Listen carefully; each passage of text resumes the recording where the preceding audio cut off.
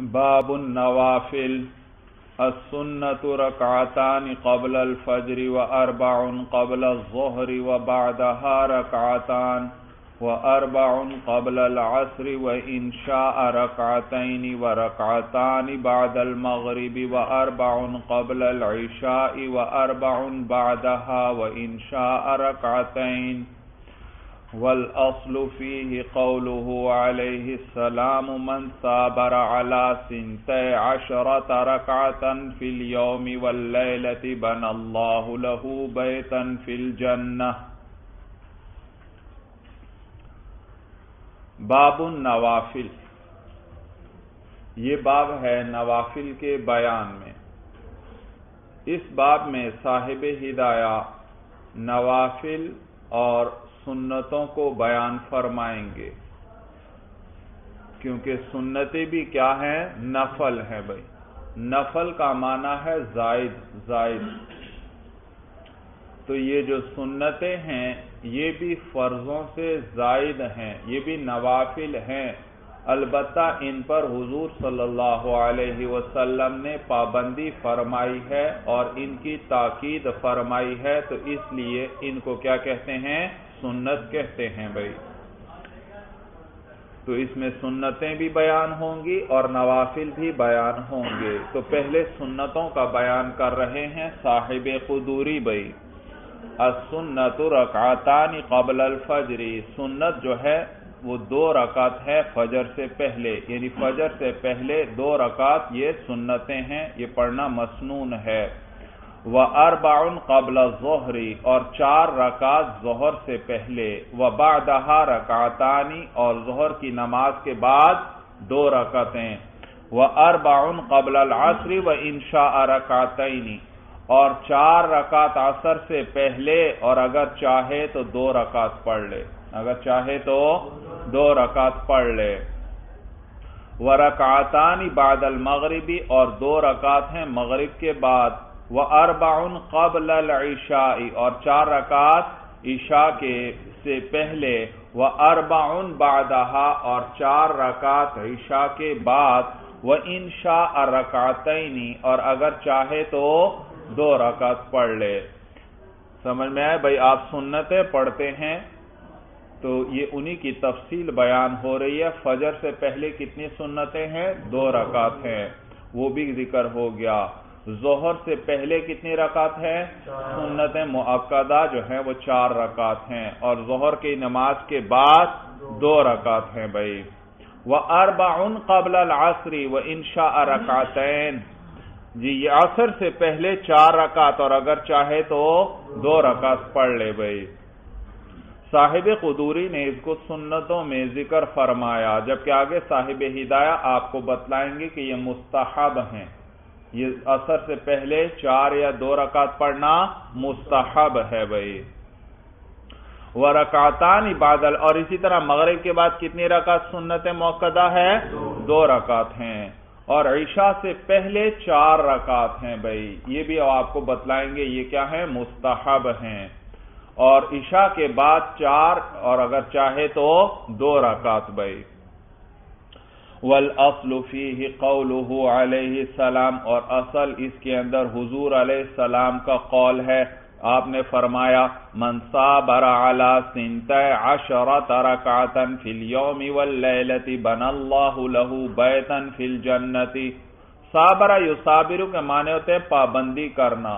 حضور علیہ السلام فرماتے ہیں، جس نے پابندی کی بارہ رکعتوں پر فی اليوم واللیلت دن اور رات میں بن اللہ لہو بیتن فی الجنتی، تو اللہ اس کے لیے جنت میں ایک گھر بنائیں گے۔ جس نے دن رات میں بارہ رکعتوں پر پابندی کی، اللہ اس کے لیے جنت میں ایک گھر بنائیں گے۔ تو یہ بارہ رکعتیں ہیں بھائی۔ دو فجر سے پہلے اور چار ظہر سے پہلے اور دو بعد میں، یہ کتنی ہو گئیں؟ چار اور دو چھ اور دو فجر کی، آٹھ۔ اور دو مغرب کے بعد دس، اور دو عشاء کے بعد بارہ۔ یہ سنت موقع ہیں بھائی۔ باقی جو ہیں وہ مستحب ہیں۔ یا جن کو آپ سنت غیر موقع کہتے ہیں، تو ان کا بھی آگے صاحب ہدایہ ذکر فرمائیں گے بھائی۔ تو کہتے ہیں، اصل اس کے اندر حضور علیہ السلام کا قول ہے، جس نے پابندی کی، بارہ رکعت پر دن اور رات میں اللہ اس کے لیے جنت میں گھر بنائیں گے۔ وفسر علی نحو ما ذکر فی الكتاب۔ اور حضور علیہ السلام نے تفسیر فرمائی اسی طریقے پر جس طرح کے ذکر کیا ہے، فی الکتابی کتاب میں یعنی قدوری کے اندر۔ فی الکتاب کے نیچے مبسوط لکھا ہے، مبسوط یہ درست نہیں بھائی۔ فی الکتاب سے کیا مراد ہے؟ یہ متن مراد ہے اور اس کتاب میں، اور یہ متن کس کا ہے؟ قدوری کا ہے، یہ قدوری کی عبارت ہے بھائی۔ تو جس طرح حضور علیہ السلام نے بھی ان رکعتوں کی اسی طرح تفصیل فرمائی، جس طرح اس کتاب یعنی قدوری کے اندر ذکر ہیں، البتہ یہ عصر سے پہلے چار یا دو اور عشاء سے پہلے چار، یہ میں نے آپ کو بتایا مستحبات میں سے ہیں۔ اور یہ اب آگے صاحب ہدایہ بھی ذکر کرنے لگے کہ حضور علیہ السلام نے بھی اسی طریقے پر ان کی تفسیر فرمائی جس طرح کتاب قدوری کے اندر ذکر ہے، غیر انہو لم یذکر الاربع قبل العصری مگر یہ کہ حضور علیہ السلام نے حدیث کے اندر عصر سے پہلے کی جو چار رکعتیں ہیں، ان کو ذکر نہیں فرمایا۔ صاحب قدوری نے تو ذکر فرمایا، لیکن یہ تو حدیث ہے، حدیث مسابرہ، اس کے اندر حضور علیہ السلام نے عصر سے پہلے چار رکعتوں کا ذکر نہیں فرمایا۔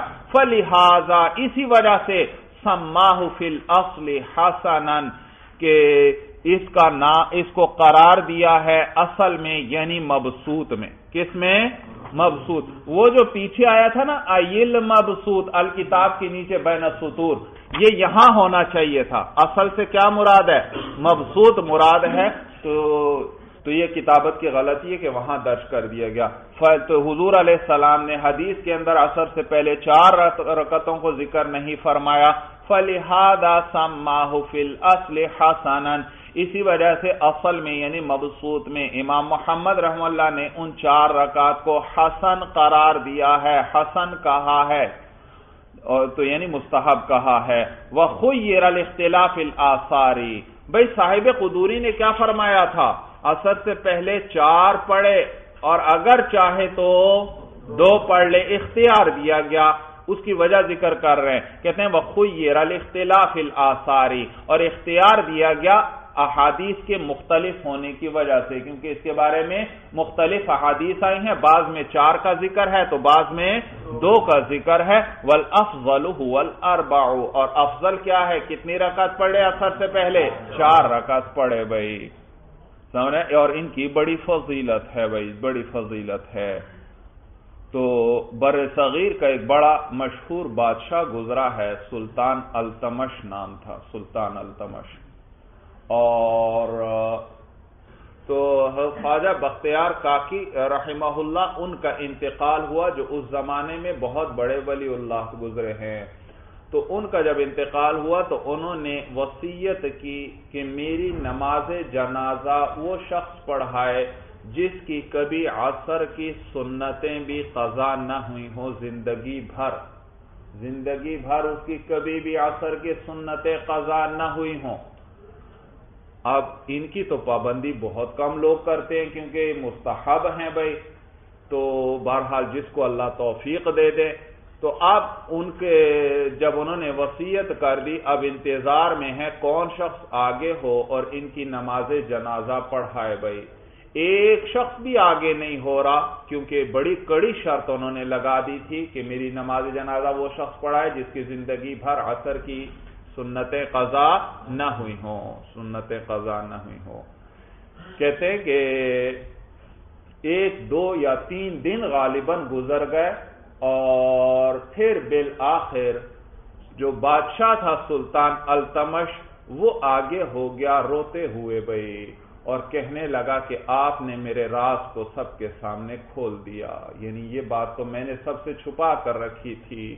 کہ میں نے کبھی بھی ان میں یہ اثر کی سنتیں میری نہیں چھوٹی تو دیکھیے، اندازہ لگائیے کیسے نیک اور اولیاء بادشاہ گزرے ہیں کہ اور اور امور خیر کو تو چھوڑیے، سنت موقع کو تو چھوڑیے، سنت غیر موقع بھی ان کی زندگی بھر نہیں چھوٹی تھی بھائی۔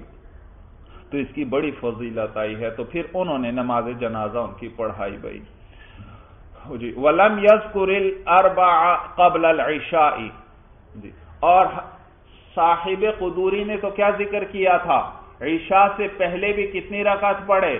چار رکعت پڑھے جو متن کے اندر آیا۔ لیکن حدیث میں حضور صلی اللہ علیہ وسلم نے لم یذکر الاربع قبل العشاء۔ اس حدیث مصابرہ میں حضور علیہ السلام نے عشاء سے قبل چار رکعتوں کا بھی ذکر نہیں فرمایا۔ وَلِهَذَا كَانَ مُسْتَحَبًا، اور اسی وجہ سے یہ چار رکعت کیا ہیں؟ مستحب ہیں، لِعَدَمِ الْمُوَاظَبَتِ بوجہ پابندی نہ ہونے کے۔ یعنی حضور علیہ السلام نے ان پر پابندی نہیں فرم، جن چیزوں پر تو حضور علیہ السلام نے پابندی فرمائی ہے، ان کو تو ہم کیا کہتے ہیں؟ نوافل میں سے ہے، تو اور اس پر پابندی فرمائی، اس کو سنت موقع کہتے ہیں۔ لیکن اس پر پابندی نہیں فرمائی تو یہ مستحب ہوں گے۔ وَذَكَرَ فِيهِ رَكَعْتَيْنِ بَعْدَ الْعِشَاءِ۔ اور متن میں تو کیا آیا تھا کہ عشاء کے بعد چار پڑھے اور اگر چاہے تو کتنی پڑھ لے؟ دو پڑھ لے۔ وَذَكَرَ، جبکہ حدیث میں وَذَكَرَ فِيهِ رَكَعْتَيْنِ بَعْدَ الْعِشَاءِ۔ اس حدیث مصابرہ کے اندر حضور علیہ السلام نے عشاء کے بعد دو رکعت کا ذکر فرمایا ہے۔ وفی غیر ہی ذکر الربا اور اس کے علاوہ اور حدیثوں میں چار کا ذکر کیا گیا ہے۔ یہ یوں کہیں وفی غیر ہی ذکر الربا اس کے علاوہ بعض اور حدیث میں حضور علیہ السلام نے کتنا ذکر فرمایا ہے؟ چار. فلحاظا خیرا اسی وجہ سے اختیار دیا صاحب قدوری نے. اللہ ان الاربع افضل. مگر یہ کہ چار رکعت پڑھنا افضل ہے، خصوصاً عند ابی حنیفہ رحم اللہ، خاص طور پر امام اعظم ابو حنیفہ رحم اللہ کے نزدیک.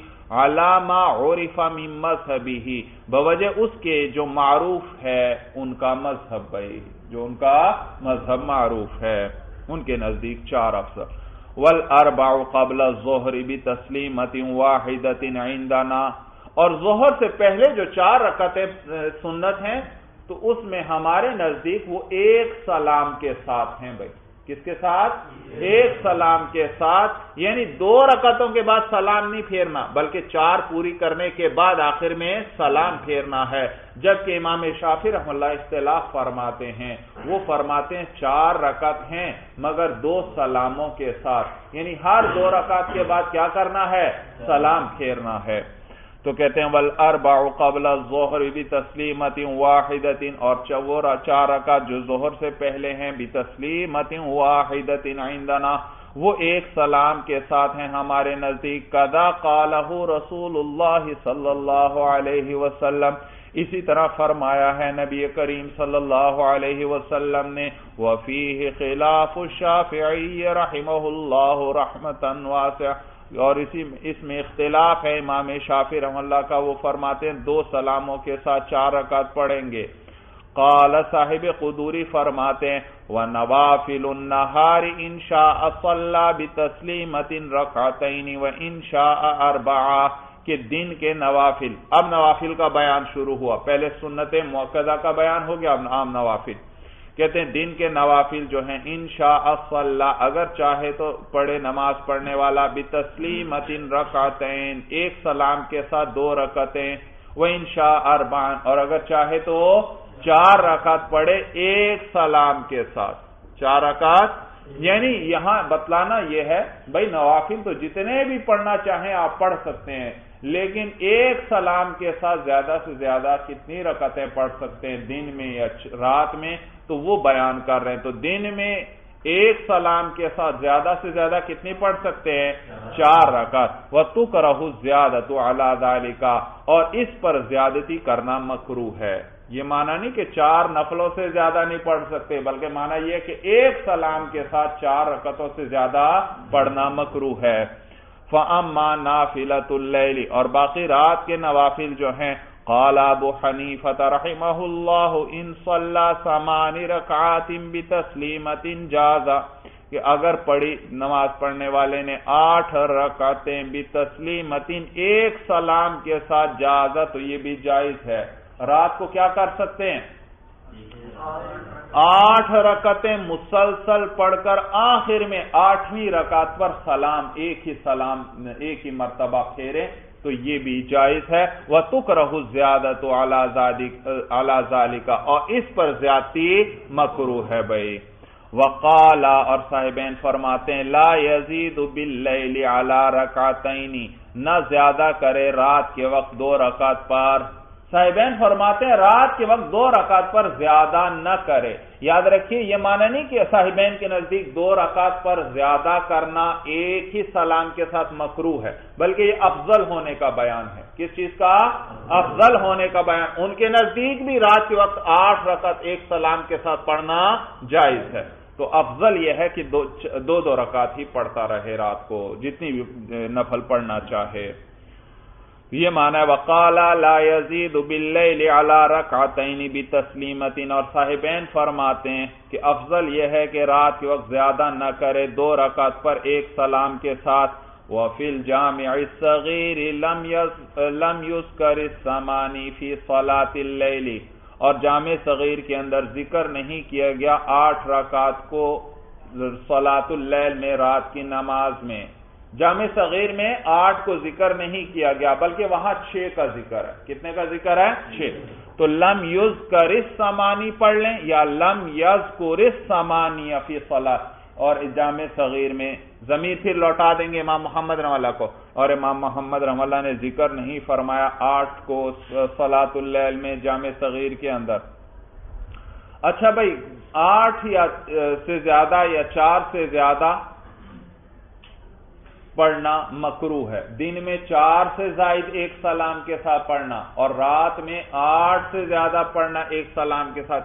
اس کو مکرو کیوں قرار دیا؟ وجہ ذکر کر رہے ہیں۔ کہتے ہیں وہ دلیل الکراہتی اور مکرو ہونے کی دلیل جو ہے وہ یہ ہے کہ انہو علیہ السلام لم یزید علی ذالکہ، کہ حضور علیہ السلام نے اس پر زیادتی نہیں فرمائی۔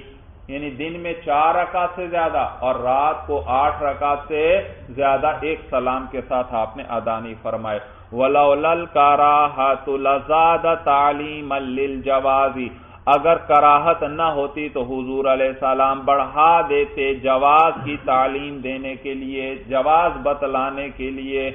حضور صلی اللہ علیہ وسلم اس کو جائز بتلانے کے لیے کبھی نہ کبھی ضرور ان سے زائد بھی ادا فرماتے، لیکن آپ نے کبھی بھی ان پر زیادتی نہیں فرمائی، معلوم ہوا اس سے زائد پڑھنا مکرو والافضل فی اللیل یہ تو تھا جائز اور مکرو کا بیان بھائی، کہ کتنے پڑھنا رات کو، دن کو زیادہ سے زیادہ ایک سلام کے ساتھ جائز ہے اور یہ اس سے زیادہ مکرو اب افضل کیا ہے وہ بیان کرنے لگے ہیں۔ کہتے ہیں والافضل فی اللیل عند ابی یوسف و محمد رحمہم اللہ تعالی مسنا مسنا وفی النہار اربعن اربعن اور افضل جو ہے رات کے وقت صاحبین رحمہم اللہ کے نزدیک دو دو رکعت ہیں وفین نہار اربعن اربعن اور دن میں چار چار رکعت یعنی چار ایک ہی سلام کے ساتھ یہ پڑھنا افضل ہیں۔ وعند شافعی رحمہ اللہ تعالی فیہما مسنا مسنا، اور امام شافی رحمہ اللہ کے نزدیک دونوں میں یعنی دن اور رات دونوں میں افضل کیا ہے؟ مسنا مسنا، دو دو ہیں بھائی، دو دو رکعت۔ اور یاد رکھیے، یہ مسنا ثانی، یہ تاکید ہے مسنا اول کی، کیونکہ مسنا کا معنی ہی ہے دو دو۔ مسنا کا کیا معنی؟ دو دو۔ تو یہ جو ثانی مسنا ہے، یہ اول کی تاکید ہے۔ ہوا عند ابی حنیفہ رحمہ اللہ فیہما اربعن اربعن اور امام اعظم ابو حنیفہ رحمہ اللہ کے نزدیک دونوں میں یعنی دن ہو یا رات ہو، دونوں میں چار چار رکعت پڑھنا افضل ہے۔ اب دلیلیں ذکر فرما رہے ہیں۔ کہتے ہیں، لشافعی رحمہ اللہ قولہ علیہ السلام۔ امام شافی رحمہ اللہ کی دلیل حضور علیہ السلام کا یہ قول ہے۔ کہ آپ نے فرمایا صلاة اللیل والنہار مسنا مسنا. حضور علیہ السلام فرماتے ہیں، دن اور رات کی نماز دو دو رکعت ہے. وَلَهُمَا، صاحبین رحمہم اللہ کی دلیل، انہوں نے کیا ذکر کیا تھا؟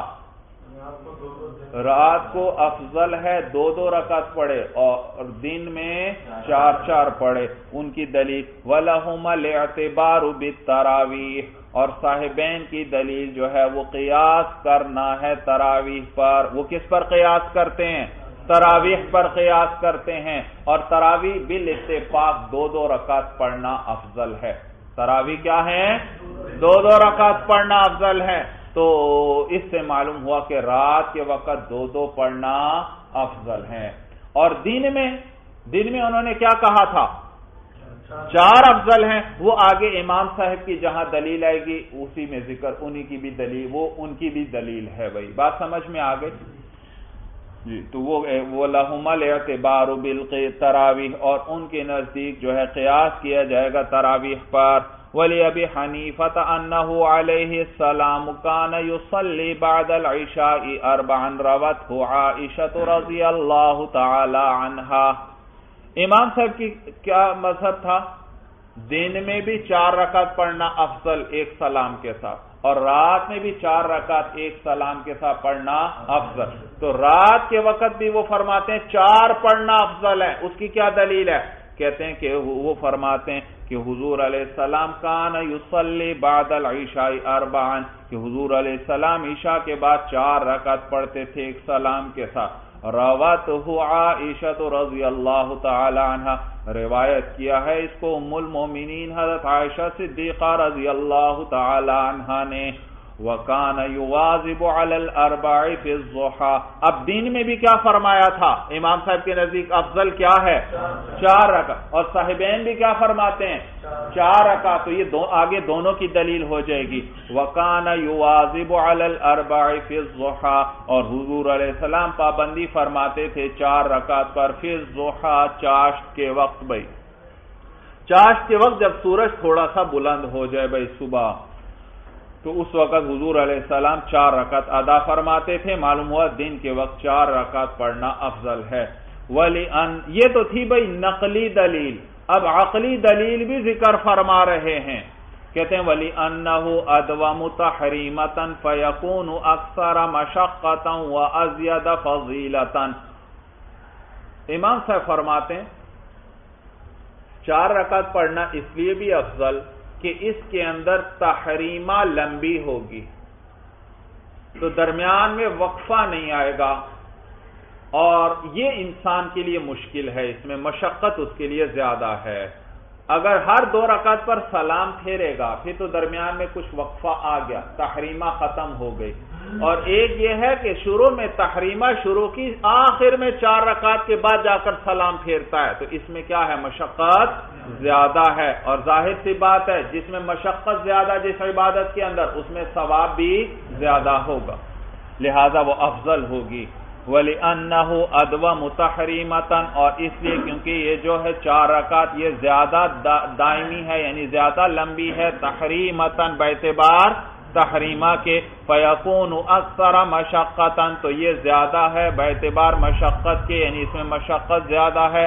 وہ زیادہ فضیلتاً، اور یہ زیادہ ہے بیتبار فضیلت کے یعنی اس میں زیادہ فضیلت ہے۔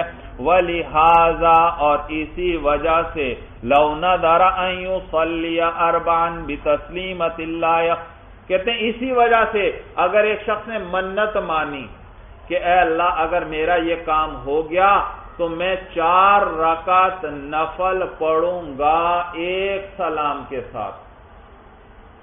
لہذا اب اگر اس کا وہ کام ہو گیا تو اس پر وہ چار رکعتیں واجب ہو گئیں۔ اب وہ اس نے کیا کہا تھا؟ ایک لہذا اگر دو سلاموں کے ساتھ وہ نفل پڑتا ہے تو یہ وہ جو واجب ہے وہ ادا نہیں ہوگا۔ ابھی بھی وہ اس کے ذمہ باقی ہے۔ کیونکہ اس نے جن کا جن نفلوں کو اپنے اوپر لازم کیا تھا، وہ ایک سلام کے ساتھ چار رکعت تھے اور ان میں مشقت زیادہ ہے اور دو دو رکعت پر وہ سلام پھیرے گا تو اس میں مشقت کم ہے تو لہذا جب زیادہ مشقت والے کو اس نے اپنے اوپر واجب کیا ہے تو ان کو اسی طرح ادا کرنا پڑے گا ہاں، کم مشقت کے ساتھ ادائیگی سے وہ واجب ادا نہیں ہوگا۔ سورج سمجھ میں آ گئے لیکن اگر اس کا کوئی اس کا برعکس ہو، ایک شخص نے یہ منت مانی کہ اللہ اگر میرا یہ کام ہو گیا تو میں چار رکعت نفل پڑھوں گا۔ قید کوئی نہیں لگائی، یا کہہ دیا کہ دو سلاموں کے ساتھ۔ کس کے ساتھ؟ دو سلاموں کے ساتھ۔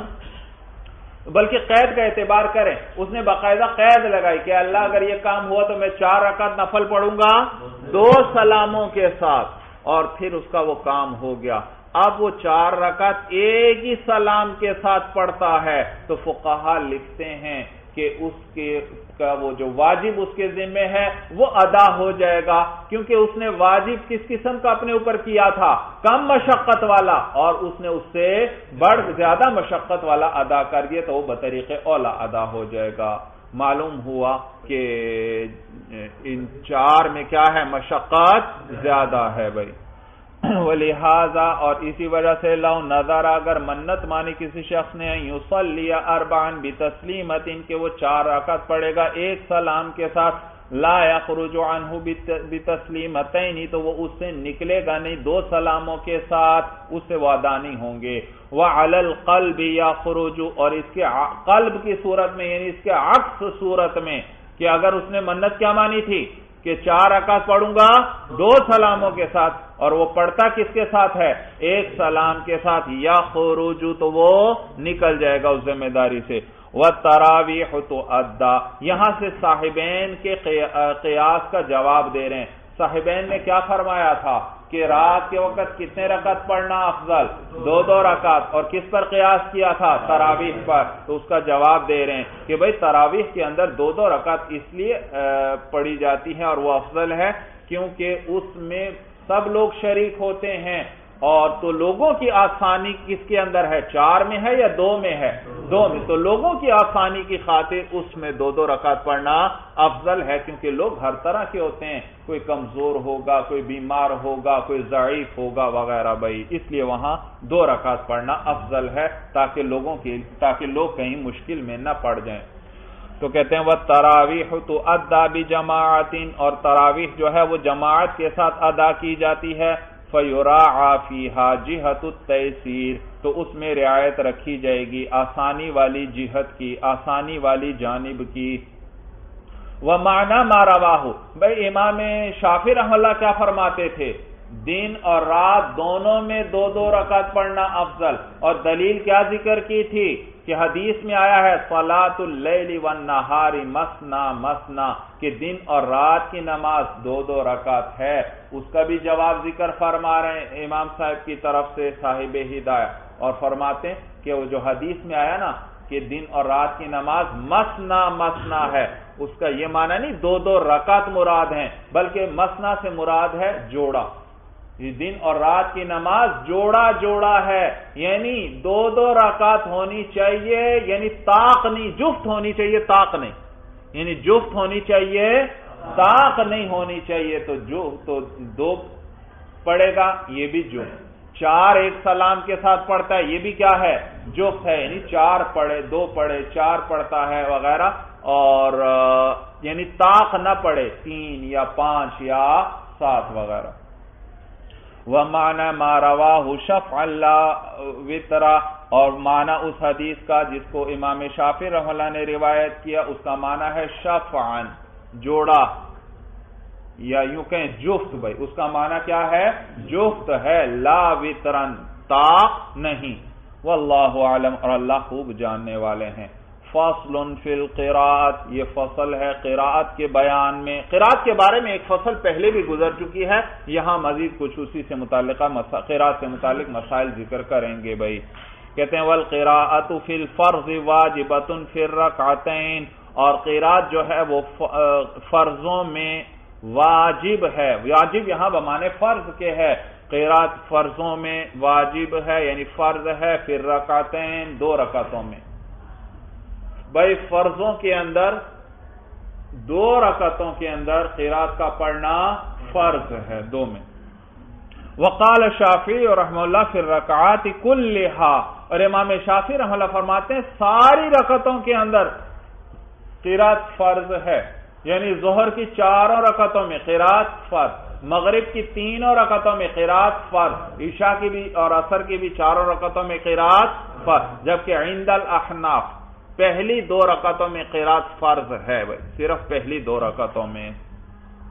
امام شافی رحم اللہ کی دلیل کہتے ہیں لقوله علیہ السلام، بوجہ حضور علیہ السلام کے اس قول کے، لا صلاة الا بقراءت کوئی نماز نہیں مگر قیرات کے ساتھ۔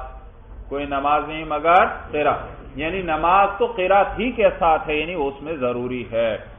وکل رکعتن فلاتن اور ہر رکعت فلات ہے۔ امام شافر اللہ کی دلیل چل رہی ہے، وہ فرماتے ہیں کہ حدیث میں کیا آیا ہے؟ لا فلات اللہ بقرات بغیر قرات کے کوئی نماز نہیں۔ اور ہر رکعت فلات ہے۔ ہر رکعت کیا ہے؟ فلات ہے، نماز ہے۔ تو ہر، اور حدیث میں کوئی نماز بغیر قرات کے نہیں۔ تو ہر رکعت کے اندر قرات فرض ہوگی۔ دلیل سمجھ میں آئی بھائی؟ یہ مانا ہے وہ کلو رکاتن اور ہر رکعت فلات ہے، نماز ہے، تو اور حدیث میں آیا کوئی نماز بغیر قرات کے نہیں، تو ہر رکعت میں قرات فرض ہوگی۔ وقال مالک رحمہ اللہ فی صلاة رکعات اقامت للاکثر مقام الکل تیسیرا۔ امام مالک رحمہ اللہ فرماتے ہیں، تین رکعتوں میں قرات فرض ہے۔ کتنی رکعتوں میں؟ تین رکعتوں میں۔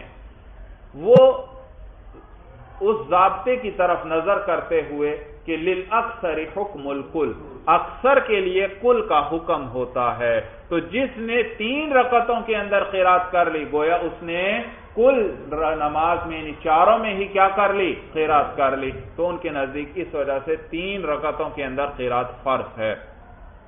تو کہتے ہیں، وقال مالک رحم اللہ، امام مالک رحم اللہ فرماتے ہیں فی سلاس رکعات تین رکعتوں میں یعنی قرات فرض ہے، اقامتا للاکثر مقام الکل، قائم کرتے ہوئے اکثر کو کل کے مقام پر، تیسیرا آسانی کے لیے ولانا اور ہماری دلیل جو ہے، قولہ تعالی، اللہ تعالی کا قول ہے فَقَرَأُ مَا تَيَسَّرَ مِنَ الْقُرْآنِ، پس تم پڑھو جو تمہیں میسر ہو قرآن میں سے، جو آسان ہو تمہارے لیے قرآن میں سے، اس کی قرآت کرو۔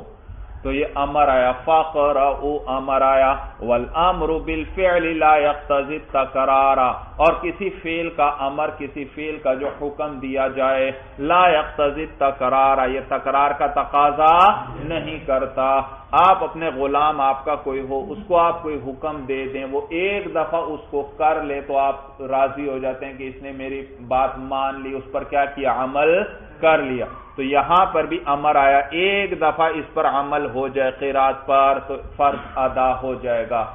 تو اس آیت سے، اس آیت سے تو معلوم ہوا، ایک مرتبہ بھی قیرات کر لی جائے گی تو فرض ادا ہو جائے گا۔ یعنی ایک رکعت میں قیرات فرض ہونی چاہیے۔ ایک رکعت میں بھی اس پر عمل کر لیا جائے گا۔ تو امر پر عمل ہو گیا۔ بات سمجھ میں آ گئی؟ تو کہتے ہیں ول بالفعل لا يقتضي تکرار اور کسی فعل کا جو امر ہے، اس کا جو حکم ہے، وہ تکرار کا تقاضا نہیں کرتا، جیسے کہ آپ اصول فقہ میں پڑھ چکے ہوں گے۔ وہ انما اور یہاں سے سوال کا جواب دے رہے ہیں کہ بھئی، اگر آپ نے کیا دلیل ذکر کی کہ امر تکرار کا تقاضا نہیں کرتا، لہذا قیرات قیرات جو ہے چاروں رکعتوں میں واجب نہیں۔ اگر اس کو دلیل بناتے ہو، اے احناف، پھر تو ایک رکعت میں قیرات فرض ہونی چاہیے۔ لیکن آپ تو کیا کہتے ہیں؟ دو میں قیرات فرض ہے۔ تو اس کا بھی جواب دے رہے ہیں بھائی۔ احناف کی باتیں بھائی سمندر سے بھی گہری ہوتی ہیں۔ اور ہمارے پاس تمام مسائل کے اندر اتنے قوی عدلہ موجود ہیں بشرتے کہ کوئی صاحب مطالعہ ہو، بزرگوں کی کتابوں کا مطالعہ کرے اور دلائل کو دیکھے، احناف دلائل کے انبار لگا دیتے ہیں بھائی۔ تو تو جواب دے رہے ہیں صاحب ہدایہ کہ دوسری رکعت میں ہم نے پھر کیوں قرات کو فرض قرار دیا؟ کہتے ہیں وہ انما اور جب اور ہم نے دوسری رکعت کے اندر بھی قرات کو فرض قرار دیا استدلال اولا پہلی رکعت سے ہی استدلال کرتے ہوئے، پہلی رکعت سے ہی دلیل پکڑتے ہوئے۔ کس طرح؟ کہتے ہیں انہما تشاکلان من کل وجہن اس لیے کیونکہ یہ تو پہلی دو رکعتیں ہیں، یہ ایک دوسرے کی ہم شکل ہیں من کل وجہن ہر اعتبار سے۔ پہلی دو رکعتیں ہر اعتبار سے ایک دوسرے جیسی ہیں، تو لہذا جو چیز ایک میں ہوگی، وہ دوسری میں بھی ہوگی۔ تو پہلی میں جب قرآن کو فرض قرار دیا ہے، تو دوسری میں بھی کیا قرار دیا جائے گا؟ فرض قرار دیا جائے گا۔ اس پر اشکال ہوتا ہے پھر تو تیسری اور چوتھی رکعت بھی پہلی رکعت جیسی ہیں۔ ان میں بھی کیا کرنا چاہیے؟ قیرات کو فرض قرار دینا چاہیے۔ بھائی، اس کا بھی جواب آگے آ رہا ہے۔ کہتے ہیں فعمل اخریانی فارقانی ہی معافی حق کہ آخری دو رکعتیں جو ہیں فعمل اخریانی باقی آخری دو جو رکعتیں ہیں تو فارقان ہی وہ ان پہلی دو رکعتوں سے مختلف ہیں، ان سے جدا ہو جاتی ہیں۔ فی حق سقوط بالسفر۔ سفر کی وجہ سے ساقط ہونے کے حق میں۔ یعنی دیکھیے بھائی، سفر میں آپ قصر کرتے ہیں، چار رکعت فرضوں کے بجائے کتنے پڑھتے ہیں؟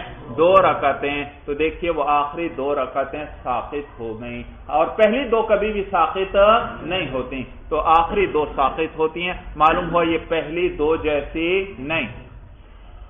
وصفت القرات اور قرات کی صفت میں بھی یہ پہلی دو سے جدا ہیں۔ پہلی دو رکعت میں جہرن قرات کی جاتی ہے، آخری دو میں کبھی بھی جہرن قرات نہیں کی جاتی، معلوم ہو یہ ان سے جدا ہیں۔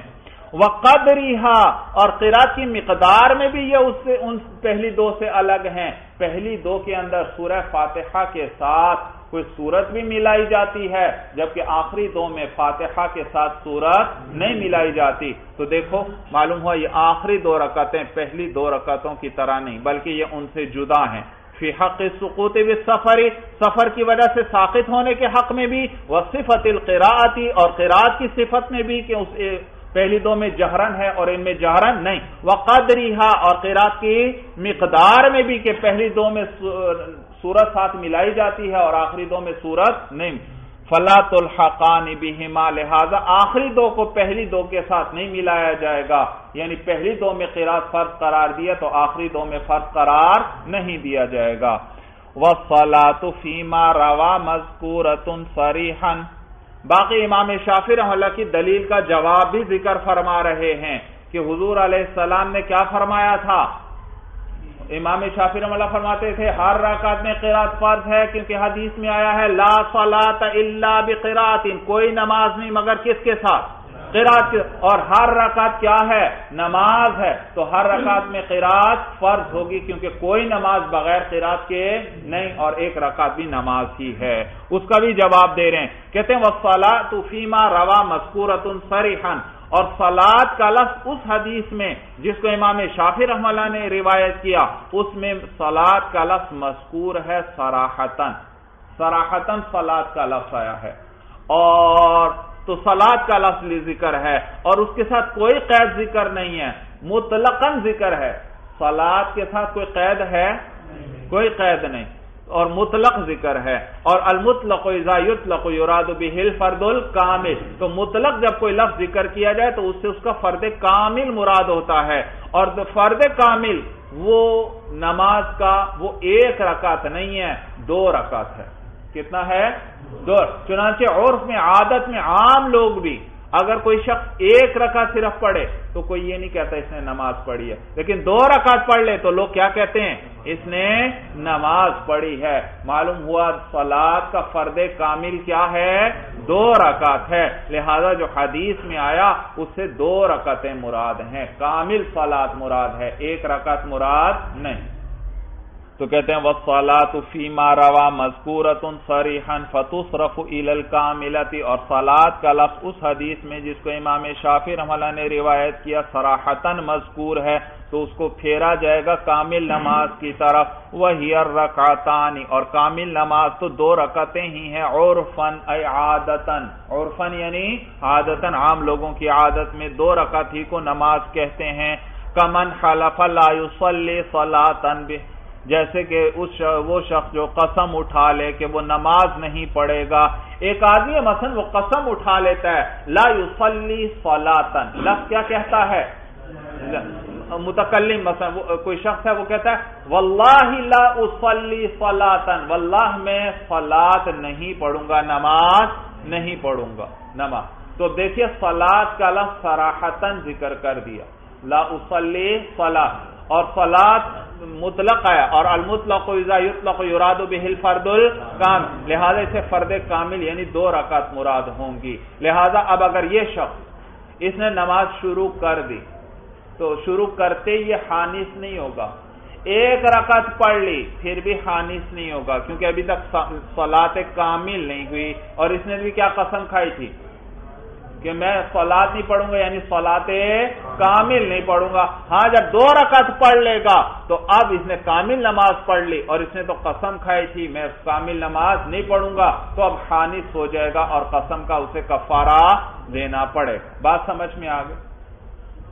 تو یہ قسم اس نے اس طرح کی اٹھائی، وہ تو گناگار ہوگا ہی، اس طرح کی قسم اٹھاتا ہے وہ۔ لیکن بات یہ نہیں ہو رہی، بات صرف یہ بیان کر رہے ہیں کہ حانس کس وقت ہوگا۔ اگر یہ قسم کوئی اٹھا لیتا ہے تو دو رکعت پڑھنے پر خانص ہوگا۔ لیکن اس کے بجائے اگر وہ صرف یہ کہتا، واللہ لا اصلی، واللہ میں نماز نہیں پڑھوں گا، تو فقہا لکھتے ہیں، اس صورت میں ایک رکعت پڑھتے ہی خانص ہو جائے گا۔ کیونکہ اس نے کیا کہا؟ واللہ لا اصلی فلاتن فلات کا لفظ صراحتن اس نے ساتھ ذکر نہیں کیا۔ صرف کہا میں نماز نہیں پڑھوں گا، اور ایک رکعت بھی نماز ہے یا نماز نہیں؟ وہ بھی نماز ہے، تو لہذا وہاں ایک رکعت پڑھتے ہی کیا ہو جائے گا؟ خانص ہو جائے گا۔ کمن حلف لا يصلي صلاتا جیسے کہ وہ شخص جس نے قسم اٹھائی کہ وہ لا يصلي صلاتا وہ نماز نہیں پڑھے گا، بخلاف ما اذا حلف لا يصلي بخلاف اس کے کہ جب اس نے قسم اٹھائی، لا يصلي صرف یہ قسم اٹھائی کہ اس صورت میں پوری کامل نماز کی شرط نہیں ہوگی۔ بات سمجھ میں آ گئی وہ ہوا مخیر فی الاخرین۔ اور نماز پڑھنے، فرض پڑھنے والا جو ہے، اس کو اختیار ہے فی الاخرین یعنی آخری دو رکعتوں میں۔ فرضوں کی پہلی دو رکعتوں میں تو ہمارے نزدیک قیرات فرض ہے، اور آخری دو رکعتوں میں اس کو اختیار۔ چاہے تو کیا کرے؟ سورہ فاتحہ پڑھ لے، چاہے کیا پڑھ لے؟ تسبیحات پڑھ لے، اور چاہے تو خاموش کھڑا رہے۔ یہی بات ذکر کر رہے ہیں۔ وہ ہوا مخیر فل اخرینی اور اس کو اختیار ہوگا آخری دو رکعتوں میں۔ مانا ہو اس کا معنی یہ ہے، صاحب ہدایہ فرماتے ہیں۔ اس کا معنی یہ ہے کہ انشا اسا کا و انشا اقرا و انشا اسب کہ اگر چاہے تو وہ خاموش کھڑا رہے، اور اگر چاہے تو قیرات کر لے یعنی فاتحہ پڑھ لے آخری دو میں۔ وہ انشا اسب اور اگر چاہے تو تسبیح پڑھ لے۔ عن ابی حنیفہ رحمہ اللہ اسی طرح روایت کیا گیا ہے امام اعظم ابو حنیفہ رحمہ اللہ سے۔ سمجھ میں آئی بات؟ اور یہ امام صاحب کوئی اپنی طرف سے بات نہیں کر رہے۔ وہ سمجھ میں امام صاحب، یہ کوئی اپنی طرف سے بات نہیں کر رہے بھائی۔ امام صاحب جو بھی بات کرتے ہیں قرآن اور حدیث کے اعتبار سے کرتے ہیں اسی لیے کہتے ہیں وہ الماسور عن علی وابن مسعود وعائشہ رضی اللہ تعالی عنہم اور یہی منقول ہے حضرت علی سے بھی، حضرت ابن مسعود سے بھی اور حضرت عائشہ رضی اللہ تعالی عنہم سے بھی۔ اللہ ان الافضل ان یقرا مگر افضل یہ ہے کہ قرات کرے. آخری دو میں کیا کرے؟ قرات یعنی فاتحہ پڑھے. لانه علیہ السلام الدعوام علی ذلك اس لیے کیونکہ حضور علیہ السلام نے اس پر پابندی فرمائی ہے. حضور علیہ السلام پابندی سے کیا پڑھتے تھے؟ آخری دو میں سورہ فاتحہ پڑھتے تھے. وَلِهَذَا لَا يَجِبُ السَّهُ بِتَرْكِهَا فِي ظَاهِرِ الرِّوَایَتِ اور اسی وجہ سے سجدہ سہ واجب نہیں ہوتا اس قرات کو چھوڑنے کی وجہ سے آخری دو رکعتوں میں پھر ظاہر روایتی کس میں؟ ظاہر روایت میں یعنی اس کے مطابق بھائی۔ ظاہر روایت سے کیا مراد ہے؟ امام محمد رحم اللہ کی چھ کتابیں جو تواتر کے طریقے پر منقول ہیں، اس لیے ان کا درجہ ان کی باقی کتابوں سے بڑھ کر ہے۔ تو ان میں جو مسئلہ ذکر ہو، اس کو کہتے ہیں ظاہر روایت۔ سمجھ میں آیا؟ اور ان کے علاوہ اور کتابوں میں ذکر ہو تو اس کو کہتے ہیں نوادر۔ کیا کہتے ہیں؟ نوادر۔ والقراءة واجبة في جميع ركعات النفل وفي جميع ركعات الوتر۔ جی۔ فرضوں کی بات ختم ہوئی۔ ان میں قرات پہلی دو میں فرض اور آخری دو میں اختیار ہے۔ لیکن افضل یہ کہ قرات کرے۔ نفلوں میں اور وطروں میں اس کے بارے میں بیان کر رہے ہیں۔ کہتے ہیں والقراءة واجبة في جميع ركعات النفل۔ اور قرات فرض ہے نفلوں کی تمام رکتوں میں، تمام نفلوں میں، تمام سنتوں کی تمام رکتوں میں، اور وطر کی ساری رکعتوں میں قیرات واجب ہے بھائی۔ تو کہتے ہیں والقرات واجبت فی جمیع رکعات النفل، اور قرات واجب ہے نفلوں کی تمام رکعتوں میں، وفی جمیع رکعات الوتری اور وطروں کی ساری رکعتوں میں۔ بھائی، نفلوں کی ساری رکعتوں میں قرات واجب ہے۔ اسی نفل میں کیا آ گئی سنتیں بھی آ گئی کیونکہ ابھی بیان ہوا سنت بھی دراصل کیا ہے؟ نفل ہیں، لیکن ان پر حضور علیہ السلام نے پابندی فرمائی ہے اور ان کی تاکید فرمائی ہے، اس لیے ان کو سنت موقع کہتے ہیں۔ اچھا انہوں نے کیا ذکر کیا؟ کہ نفلوں کی ساری رکعتوں میں بھی قرات واجب، اس کی کیا دلیل ہے؟ اور اسی طرح وطر میں بھی کہتے ہیں ام من نفل باقی نفل جو ہیں فلی ان کل شف امین اس لیے کیونکہ ان میں سے ہر جوڑا جو ہے یعنی ہر دو رکعتیں جو ہیں نفلوں میں سے فلاط علاحدین وہ علیحدہ نماز ہے۔ نفلوں میں آپ چار رکعت ایک سلام سے پڑھتے ہیں، لیکن ان میں بھی ہر دو رکعت دراصل کیا ہیں؟ علیحدہ۔ چار رکعت آپ نے ایک سلام سے پڑھے، لیکن پہلی دو رکعت وہ علیحدہ نماز ہے پوری، اور علیحدہ دو نفل ہیں، اور اگلے دو علیحدہ نفل ہیں۔ یہ مانا ہے کہ منہ صلاۃ ان میں سے ہر جوڑا یعنی ہر دو رکعت جو ہے وہ علیحدہ نماز ہے۔ والقیام الى الثالثه كتحریمت مبتدأت اور تیسری رکعت کی طرف اٹھنا یہ نئی تحریمہ کی طرح ہے۔ بھئی نفل پڑھ رہے ہیں۔ آپ نے چار رکعت کی نیت باندھی اور دو رکعت پڑھ لیے، تشہد پورا کیا۔ تشہد کے بعد اب جب یہ تیسری رکعت کے لیے آپ اٹھ رہے ہیں تو دوبارہ آپ تحریمہ کہتے ہیں۔ تحریمہ کہتے تو نہیں، لیکن یہ ہے اسی طرح۔ گویا آپ نئے سرے سے کیا کر رہے ہیں؟ دو رکعت کی شروع کر رہے ہیں، دو رکعت کی تحریمہ کہہ رہے ہیں۔ بات سمجھ میں آ گئی۔ یہ مانا ہے، اور تیسری رکعت کی طرف اٹھنا کا تحریمت مبتدات نئی تحریمہ کی طرح ہے۔ وَلِهَذَا لَا يَجِبُ بِالتَّحْرِيمَةِ الْأُولَى إِلَّا رَكْعَتَانِ فِي الْمَشْهُورِ عَنْ أَصْحَابِنَا اور اسی وجہ سے پہلی تحریمہ سے واجب نہیں ہوتے، مگر دو ہی رکعتیں فی المشہوری مشہور قول کے مطابق عن اصحابنا جو ہمارے فقہا سے آیا نقل ہوا ہے۔ بھائی دیکھیے، نفل کی ہر دو رکعتیں علیحدہ نماز ہیں۔ تو دو دو رکعت ہیں گویا نماز۔ اور دو رکعت میں تو قیرات فرض ہوتی ہے، تو ان میں بھی کیا ہوگی؟ قیرات فرض ہوگی۔ تو چاروں میں قیرات فرض ہو جائے گی، کیونکہ ہر دو رکعت علیحدہ نماز ہے۔ اور تیسری کے لیے آپ اٹھتے ہیں تو یہ گویا ایک نئی تحریمہ سے نماز شروع کر رہے ہیں۔ اسی طرح ہے، اسی طرح ہے۔ اور چنانچہ اسی لیے فقہا فرماتے ہیں کہ ایک شخص نے نفل شروع کیے۔ اور چار رکعت کی نیت سے نفل شروع کیے چار رکعت کی نیت کی کہ میں کتنے نفل پڑھتا ہوں؟ چار رکعت. پڑھتا ہوں اور اللہ اکبر کہہ کر نفل شروع کر دیے۔ ایک رکعت کے بعد ہی یا شروع کرتے ہی اس نے پھر ان نفلوں کو فاسد کر دیا۔ اور آپ نے پڑھا ہے؟ نفل شروع کرنے سے پہلے تو نفل ہیں، لیکن جب شروع کر دیں تو کیا بن جاتے ہیں؟ واجب بن جاتے ہیں، کیونکہ اللہ فرماتے ہیں، لا تبتلو اعمالکم، تم اپنے عملوں کو باطل نہ کرو۔ اب عمل شروع کر دیا تو اب یہ واجب ہو گیا اس کو پورا کرنا۔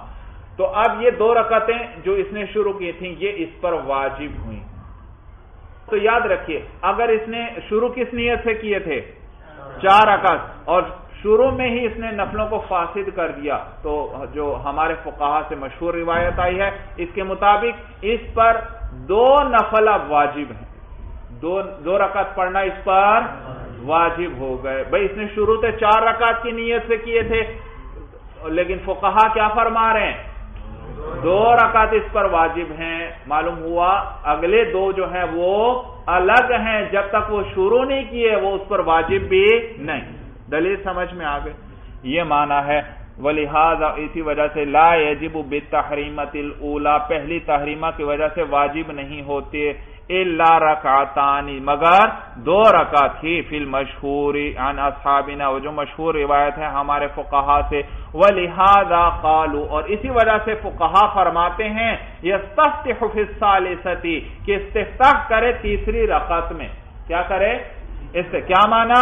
ایقول سبحانک اللہم، وہ جو نماز کے شروع میں ہم ثنا پڑھتے ہیں سبحانک اللہم بحمدک و تبارک اسمک و تعالی جدک ولا الہ غیرک۔ یہ دعا پڑھنی چاہیے کس میں؟ تیسری رکعت، جب نفلوں کی تیسری رکعت میں اٹھے، تشہد کے بعد اٹھا ہے، سلام نہیں پھیرا، تو لیکن پھر بھی یہ کس کی طرح ہے؟ نئی تحریمہ کی طرح ہے۔ لہذا اس وقت کیا کرنا چاہیے؟ اس کو استفتاح پڑھنا چاہیے یعنی سبحانک اللہم کی دعا پڑھنی چاہیے۔ اور یہ مسئلہ بھی یاد رکھیے، انہوں نے یہ تو ذکر کیا کہ ایک آدمی نے چار رکعت والی نماز شروع کی، نفل شروع کیے اور شروع میں ہی نماز کو نفلوں کو فاسد کر دیا۔ تو اس پر کتنے نفل واجب ہوں گے؟ دو رکعت۔ اور اسی طرح اگر دو ایک شخص نے شروع کیے تھے، چار رکعت والے۔ اور دو رکعتیں پوری کر لی تشہد بھی پڑھ لیا، تیسری کے لیے کھڑا ہو گیا۔ اب اس کے بعد کسی وقت اگر یہ فاسد کرتا ہے، تشہد کے تشہد میں بیٹھا تھا تیسری رکعت، دوسری رکعت میں، اور پھر وہ کھڑا ہوا ہے تیسری رکعت کے لیے۔ اب اگر وہ نفلوں کو فاسد کرتا ہے، تو اس پر دو رکعت ہی قضا آئے گی۔ کیونکہ پہلے دو تو کیا ہو گئے؟ پورے ہو گئے تشہد پر۔ اگلے دو جو ہیں وہ جیسے ہی شروع اس نے کیے وہ شروع ہو گئے اور اب جب ایک دفعہ شروع کر دیے تو اب ان کو باطل کرنا صحیح نہیں۔ لہذا اب اگر ان کو توڑا ہے تو اس صورت میں بھی پھر دو رکعت ہی اس کو ان کی قضا کرنا پڑے گی۔ بات سمجھ میں آ گئی بھائی؟ وہ امل وطر باقی وطر بھائی وطر میں بھی انہوں نے کہا تھا وطر کی ساری رکعتوں میں قیرات واجب ہے۔ اس کی کیا وجہ ہے؟ کہتے ہیں فل احتیاطی وہ وہ احتیاط کی وجہ سے ہے. اس لیے کیونکہ وطر اگرچہ امام صاحب کے نزدیک تو واجب ہیں، لیکن اس میں سنت ہونے کی بھی علامتیں ہیں، جیسے صاحبین نے ذکر کیا تھا۔ کہ وطر کے انکار کرنے والے کو کافر نہیں قرار دیا جاتا اور نیز وطروں کے لیے آزان اور اقامت نہیں کہی جاتی جیسے سنتوں کے لیے نہیں ہوتی اور سنتوں کی تو ساری رکعتوں میں قرات واجب ہے لہذا بطور احتیاط کے وطر کی بھی ساری رکعتوں میں قرات کو واجب قرار دیا جائے گا کیونکہ اس کی مشابہت ہے سنتوں کے ساتھ بھی چلیے بس بھائی المرام اللہ عالم بحقیقت الکلام۔